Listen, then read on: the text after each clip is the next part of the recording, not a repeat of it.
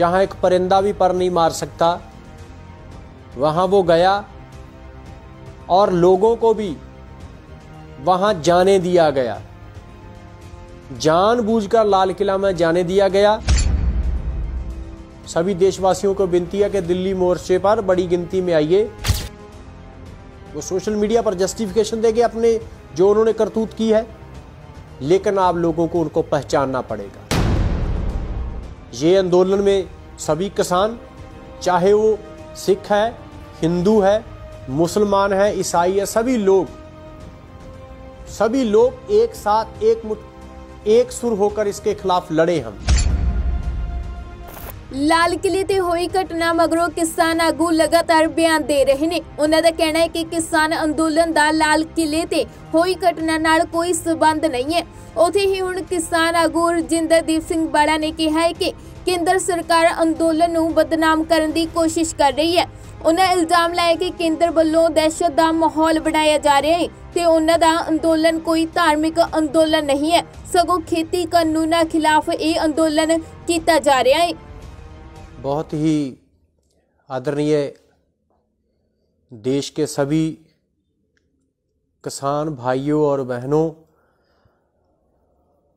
देश में जो कृषि कानून है उनके खिलाफ एक ऐतिहासिक किसान आंदोलन, जो अब जन आंदोलन बन चुका है, वो चल रहा है। मोदी सरकार लगातार इस आंदोलन को कुचलने के लिए, बदनाम करने के लिए साजिशें कर रही है।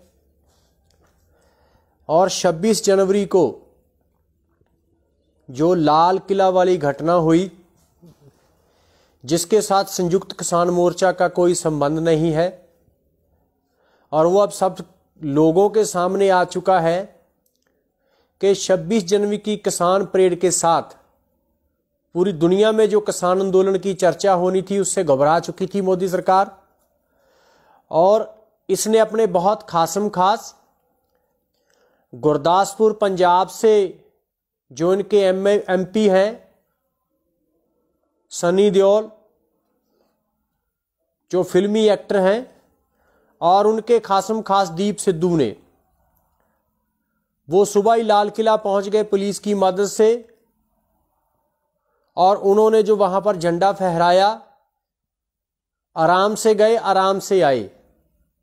जहाँ एक परिंदा भी पर नहीं मार सकता, वहाँ वो गया और लोगों को भी वहाँ जाने दिया गया।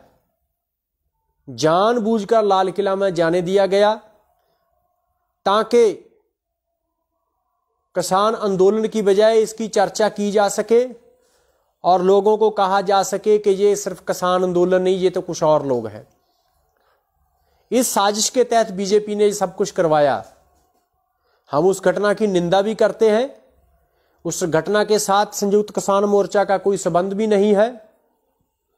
जो किसान मजदूर संघर्ष कमेटी और जो उस रात, एक रात पहले हमारी स्टेज पर जिन लोगों ने हुड़दुंग मचाया, जिसमें दीप सिद्धू, लखा सिधाना सुखप्रीत उद्धव के इस तरह के कुछ लोग शामिल थे।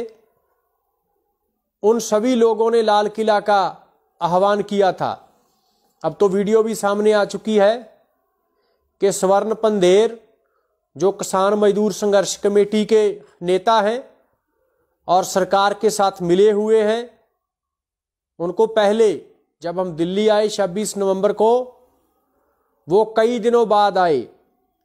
और उनको हमारे आगे बैठा दिया गया बैरिगेटिंग के परले दूसरी तरफ़। और हमारी किसान परेड 10 बजे निकलनी थी, उनको 8 बजे वहाँ से वो चल पड़े। और जो कुछ भी हुआ, उसमें सरकार की एजेंसियों का, इनका और बीजेपी के प्रचारक दीप सिद्धू का हाथ है, जो सब लोग सभी लोगों को समझा चुका है। लेकिन सरकार ने अब उस घटना के नाम पर किसान आंदोलन को बदनाम करना शुरू कर दिया है और एक दहशत का माहौल बनाया जा रहा है कि इतनी पुलिस आ गई, इतनी मिलिट्री लगा दी है, लोगों को दहशत जुदा किया जा रहा है। और ये बोला जा रहा है भी अब पर्चे हो गए किसान नेताओं पर, लुकआउट नोट्स जारी कर दिए हैं। इससे क्या होता है? हर आंदोलन में पर्चे हो जाते हैं। लुकआउट नोट्स जारी करने की एक इतनी सनसनी बना रहा है गोदी मीडिया, जैसे हम कहीं भाग रहे हों। हम तो यही आंदोलन में हैं और आंदोलन में रहेंगे, जब तक ये कृषि कानून रद्द नहीं हो जाते। तो लोगों को विनती है कि इस तरह की अफवाहों की परवाह ना करे। हमारा आंदोलन कृषि कानूनों के खिलाफ शुरू हुआ और कृषि कानूनों के खिलाफ ही रहेगा। इसको कुछ लोगों ने धार्मिक रंगत देने की कोशिश की है। वो फिरकू किस्म के लोग वो एजेंसियों के लोग हैं। उनका संयुक्त किसान मोर्चे के साथ हमारे आंदोलन के साथ कोई संबंध नहीं है। अगर इस बात पर कुछ लोग किसी दुविधा में आ, में आ रहे हैं कंफ्यूज हो रहे हैं तो उनको समझना चाहिए कि इससे जो कृषि कानून है वो खत्म नहीं हो गए।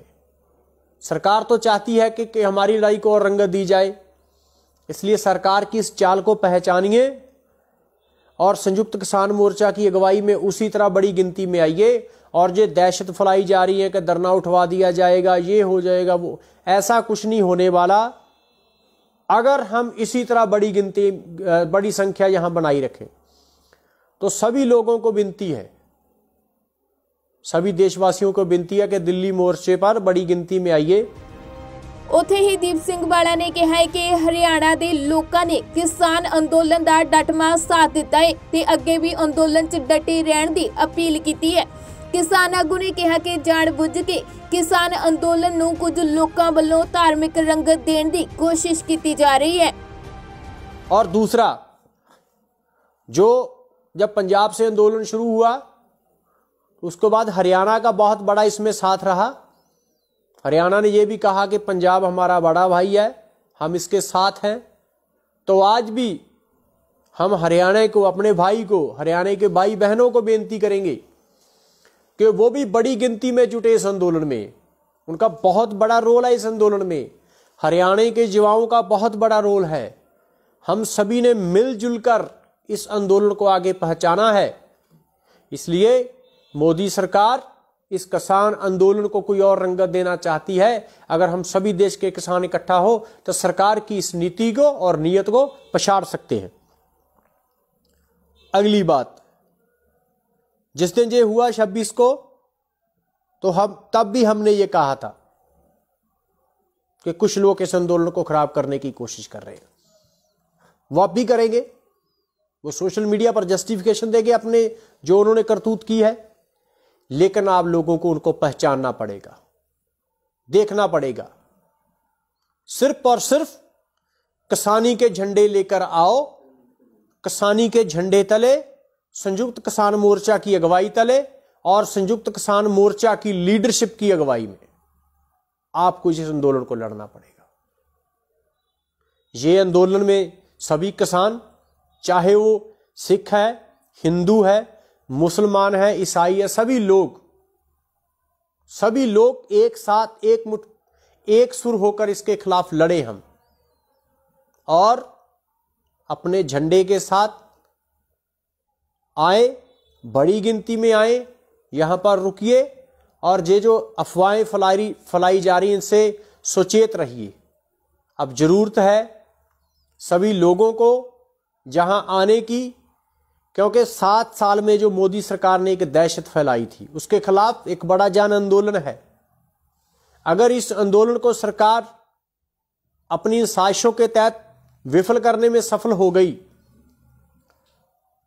तो उसके बाद उसकी जो जन विरोधी नीतियाँ और तेज होंगी। वो धर्म और जाति के नाम पर लोगों को इसी तरह लड़ाते रहेंगे। इसलिए आइए सभी लोग इकट्ठे होकर बड़ी गिनती में जहाँ पहुंचिए। और एक बात मैं और कहना चाहता हूँ उस दिन भी जब हमने बोला कि किन लोगों ने इस, इस आंदोलन को खराब करने की कोशिश की उसमें जैसे हमने बोला कि एसएफएस जो पंजाब यूनिवर्सिटी की एक जथेबंदी है और इसी तरह हमने एक और जथेबंदी डीएसओ का नाम लिया था। लेकिन डीएसओ पंजाब में दो ऑर्गेनाइजेशन काम करती है। हम उस डीएसओ की बात कर रहे हैं जो पंजाबी यूनिवर्सिटी और पटियाला में काम करती है, जिसके नेता ने, नेताओं ने लगातार इस आंदोलन को भड़काने की कोशिश की। लगातार वो बोलते रहे कि हम लाल किले के गेट पर पहुँच गए, हम वहाँ पहुँच गए, हम यहाँ पहुँच गए, लगातार भड़काने की कोशिश की गई। लेकिन डीएसओ नाम का एक और संगठन जो मोगा में काम करता है, वो हमारे आंदोलन में है, हमारे साथ है। तो ये बात हम क्लियर करना चाहते थे कि इस तरह की कोई परेशानी में आप दुबदा में ना रहिए। जो डीएसओ मोगा में काम करते हैं, वो हमारे साथ है, संगठन में है और संयुक्त किसान मोर्चा की हर कॉल को वो समर्थन करते हैं और उनके साथ ही डटे हुए आंदोलन में। हम डीएसओ पटियाला में जो काम करती है, पंजाबी यूनिवर्सिटी में, हम उसकी बात कर रहे थे, उन्होंने इस आंदोलन को भड़काने की कोशिश की है।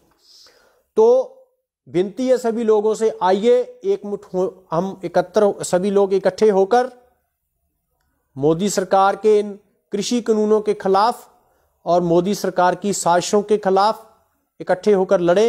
और सभी देशवासियों को बेनती है, सभी लोगों की जो देश और दुनिया में बैठे इस आंदोलन की हिमायत करते रहे हैं कि आप अपने हौसले बुलंद रखिए, बुलंद हौसले के साथ आंदोलन में आइए और इस आंदोलन की हिमायत कीजिए। ताकि हम इन कृषि कानूनों को निरस्त करा सके बहुत बहुत धन्यवाद ਦੱਸ ਦੇ ਕਿ ਤਿਰੰਗੇ ਦੇ ਸਤਕਾਰ 'ਚ ਅੱਜ ਸਿੰਘੂ ਬਾਰਡਰ ਤੇ ਸਦਭਾਵਨਾ ਯਾਤਰਾ ਕੱਢੀ ਜਾ ਰਹੀ ਹੈ ਇਸ ਦੇ ਨਾਲ ਹੀ 30 ਜਨਵਰੀ ਨੂੰ ਕਿਸਾਨ ਆਗੂਆਂ ਵੱਲੋਂ ਵਰਤ ਵੀ ਰੱਖਿਆ ਜਾਵੇਗਾ ਕਿਸਾਨ ਆਗੂਆਂ ਵੱਲੋਂ 1 ਫਰਵਰੀ ਨੂੰ ਸੰਸਦ ਵੱਲ ਮਾਰਚ ਕਰਨ ਦਾ ਪ੍ਰੋਗਰਾਮ ਵੀ ਮੁਲਤਵੀ ਕੀਤਾ ਗਿਆ ਹੈ ਬਿਊਰੋ ਰਿਪੋਰਟ ਪੰਜਾਬੀ ਲੋਕ ਚੈਨਲ